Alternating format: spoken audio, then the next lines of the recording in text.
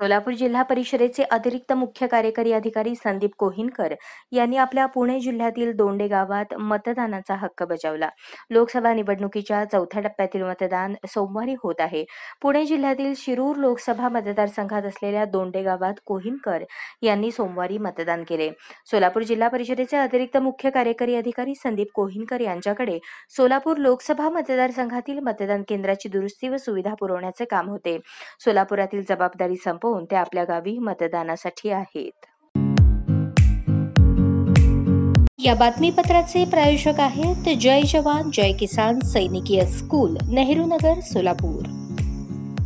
अशाच नवनवीन अपडेटसाठी जनता राज्य न्यूज चॅनलला सबस्क्राईब करा लाईक करा आणि शेअर करायला विसरू नका.